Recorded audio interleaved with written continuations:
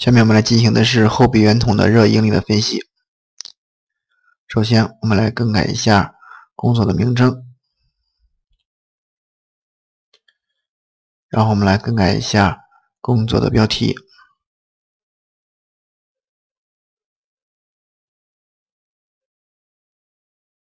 输入工作标题之后，然后点击 OK。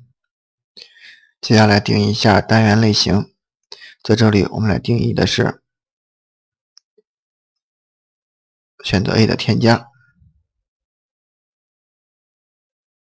选择定义幺八六号单元。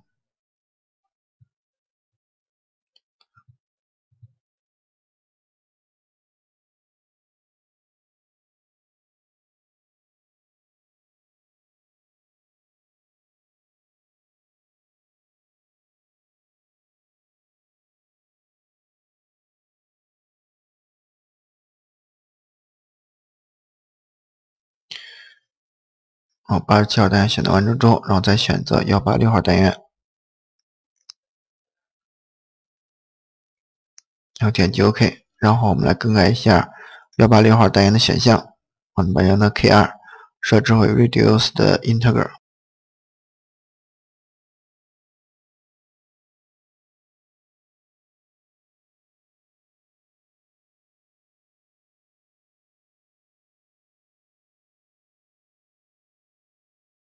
让我们来定义一下参数，我们来输入几个参数值，可以在参数的对话框里面，或者直接在命令行里面输入都可以。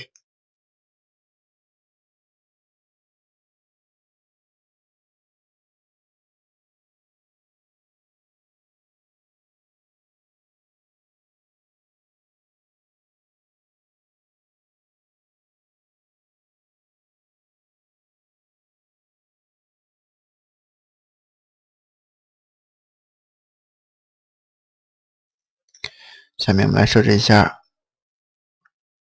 材料，定一下材料的性能，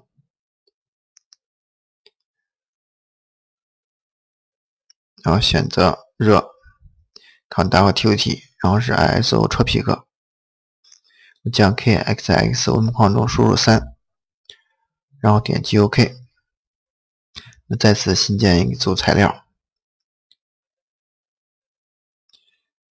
然后是来设置一下。奥斯 tropic，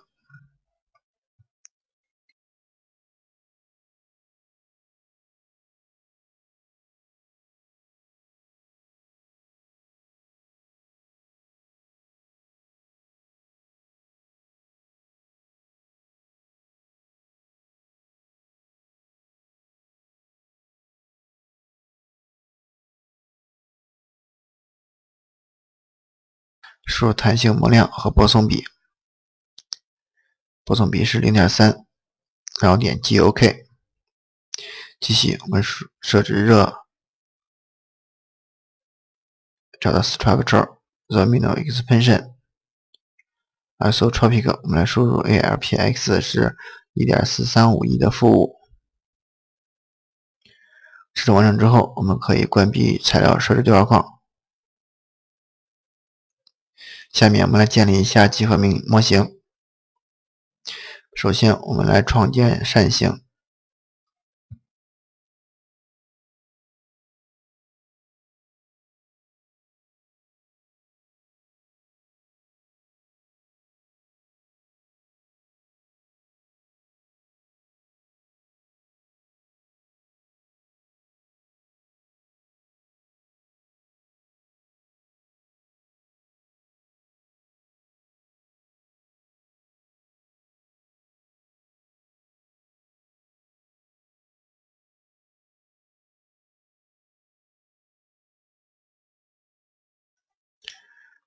我们来屏屏幕反白之后，我们来进行对它进行网格的划分。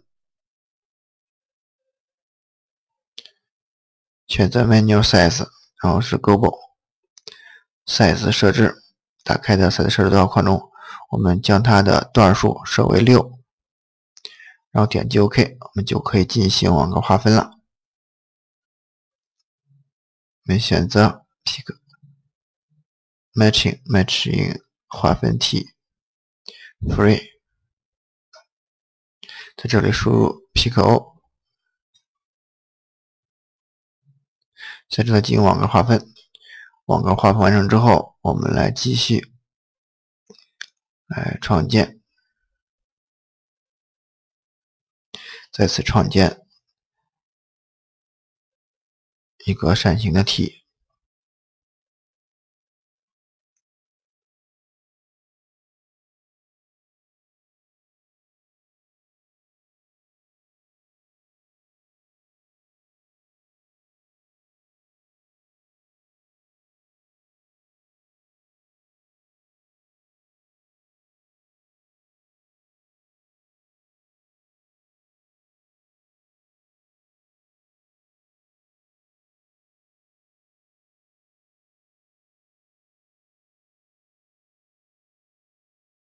同样，我们对新设置、新创建的扇形，对它进行网格划分的设置。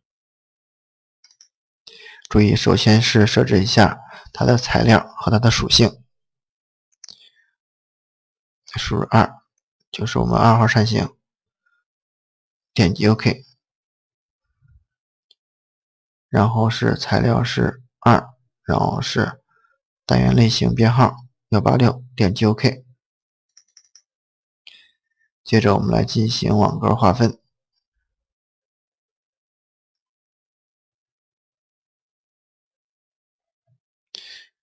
，pick O，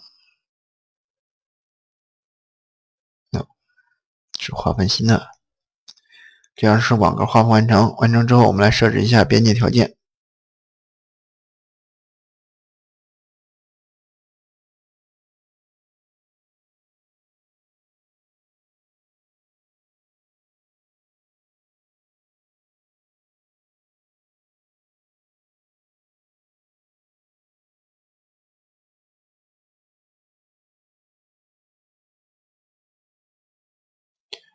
选择节点 x 方向上等于 ir 的所有的节点，点击 OK。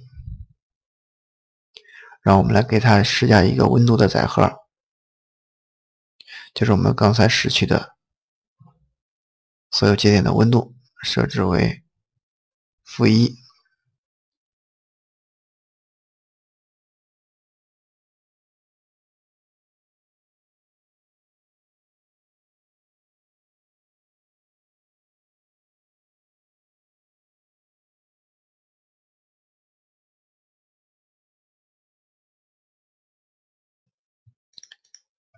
然后我们来再次打开实际对话框，然后是 x 方向所有等于 OR 的所有的节点，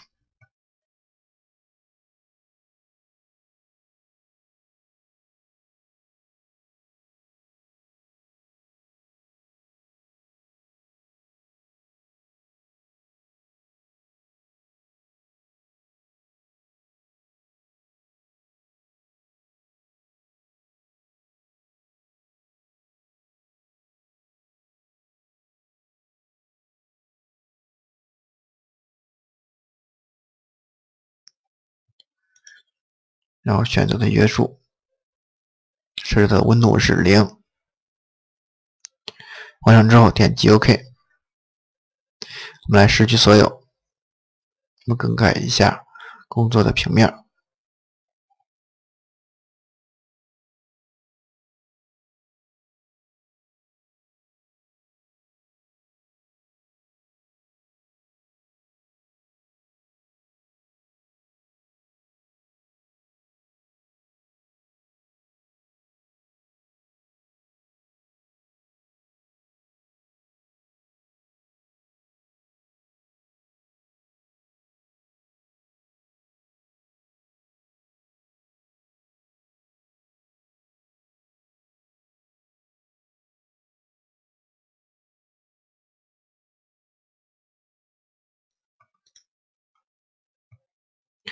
再次打开实际对话框，我们选择 Node Attach to Element from For，然后点击 OK，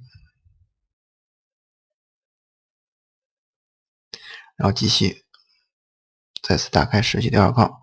这一次我们来拾取的同样是节点，通过位置 z 方向，reselect 点击 OK。设置节点设计完成之后，我们来添添加位移的约束。对于刚才设计的节点的 z 方向，将它进行约束。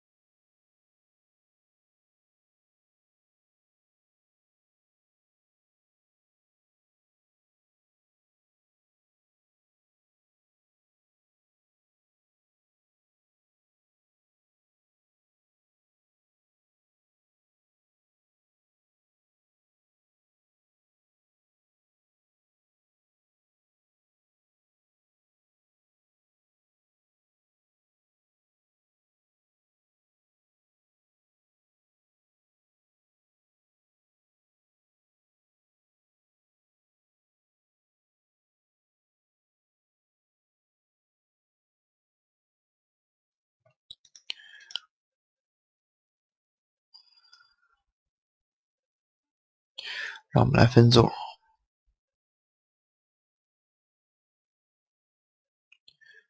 嗯，定义参考编号，我们可以设为一，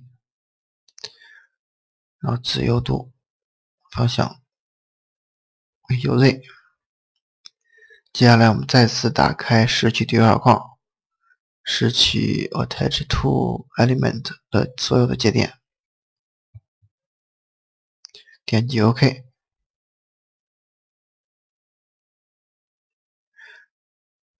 同样是选择通过刚才的节点，选择节点 Y 方向，然后点击 OK，Y 方向所有等于零的节点，然后我们来定义一下载荷，同样是作用于它的位移的载荷。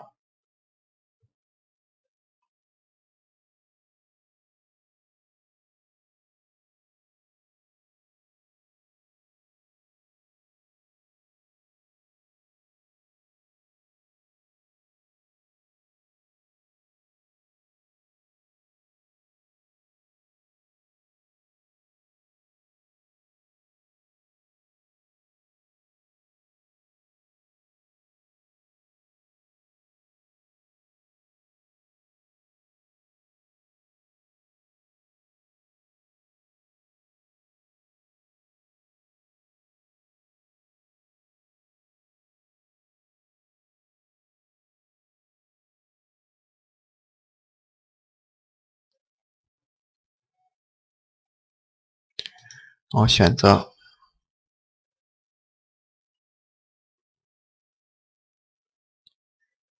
点击之后会弹出来拾取的对话框，作用于节点。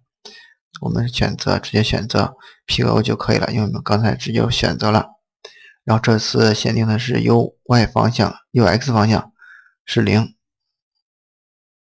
要再次打开，然后是。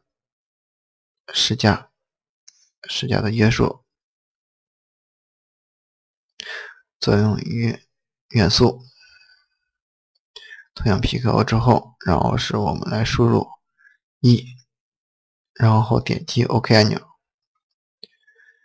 设置完成之后，下面我们来进行求解。求解的设置阶段，首先我们来将 Multi-Field 多场改为 On。然后点击 OK，然后同样是选择 MFS Single Code。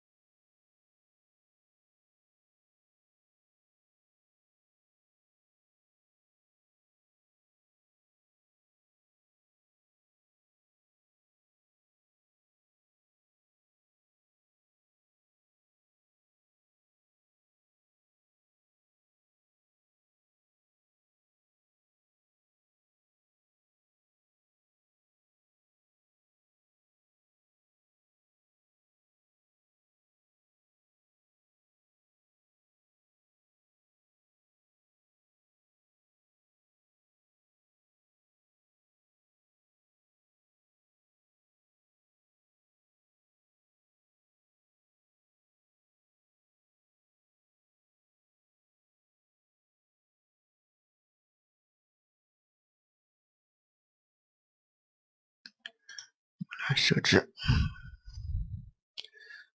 然后是 order，弹出来 MSF Solution Order Option，然后我们来选择选择一二，然后时间设置。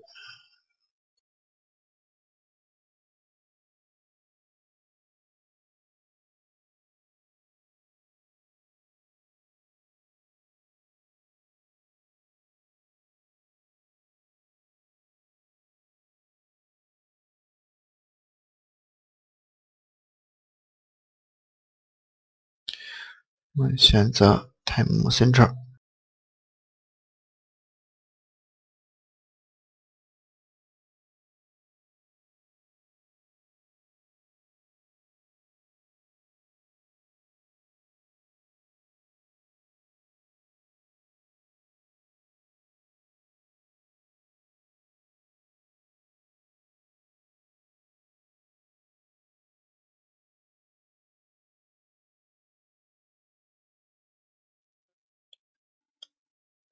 然后是选择所有，再次弹出来一个对话框，然后我们选输入零点五，然后点击 OK，然后我们选择 Solution 下的 Multi-Field，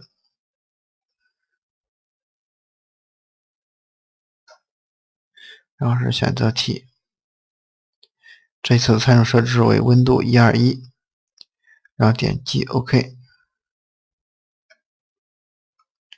然后选择分析的类型，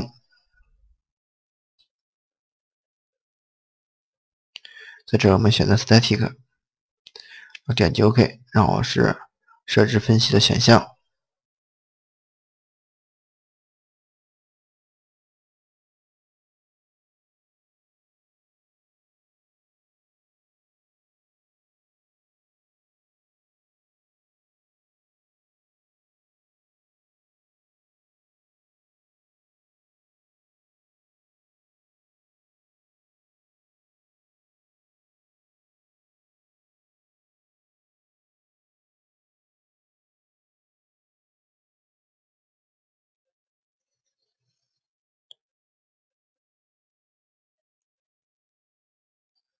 然后是，然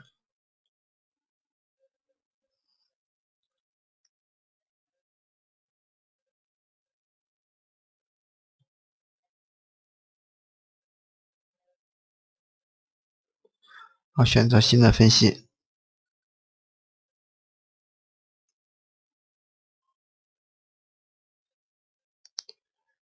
然后是分析的选项。在这里，我们将 EQSLV Equation Server 更改一下求解器为 CG。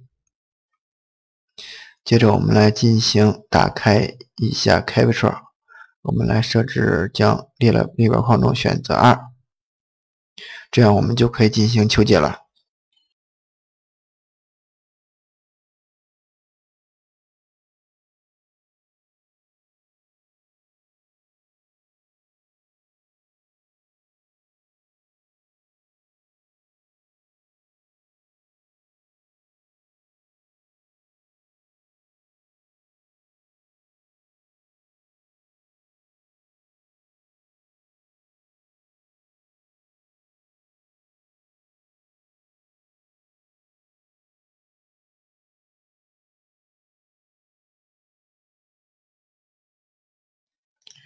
学习完成之后，我们来读取一下结果。：submit 一 RTH，然后打点击确定之后，读入结果之后，我们来首先看一下 last set 最后一步的结果，最后的求解结果，然后是选择拾取单元，通过属性来拾取 element，然后是 by attribute element type number，然后是选择一。一号 from four，然后点击 OK。接着呢，我们来绘制一下它的一个温度，查看一下。首先查看一下温度分布的等值线图。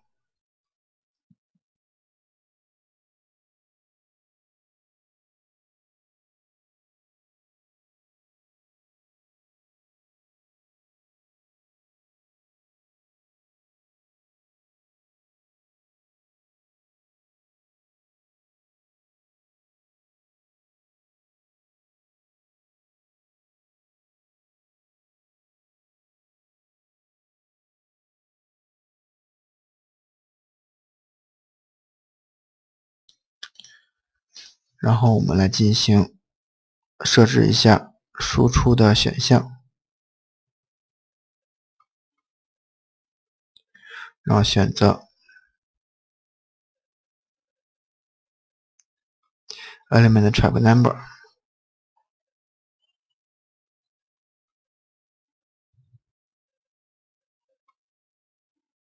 然后输入二，我们来查看一下。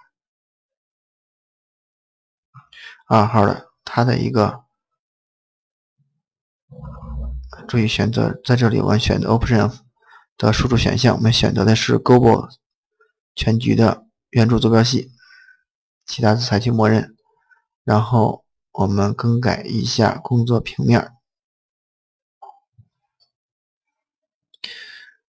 输入我们的坐标系的编号是一。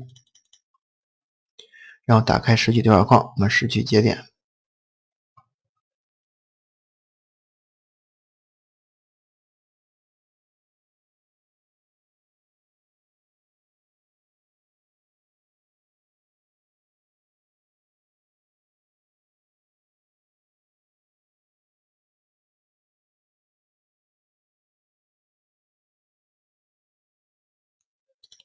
然后获取结果数值，然后选择是 result data，然后是 global measures，然后点击 OK，再次弹出来一个对话框，get node data 对话框，我们来选择压力 z 方向上的，然后是 sz max 最大的，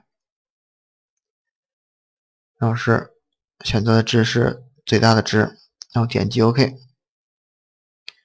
输入之后，我们打开 Get Scar Data，然后再次来进行选择结果数据，然后是 Global Measure，然后是这次来选择的是最小值，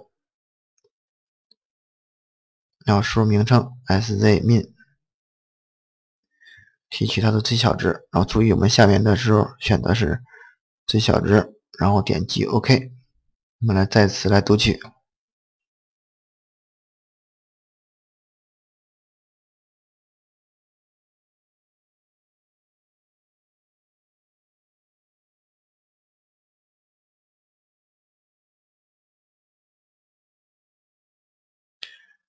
然后是 SY 方向的，然后是最大值，然后选择最大值，点击 OK，然后是 Y 方向上的最小值。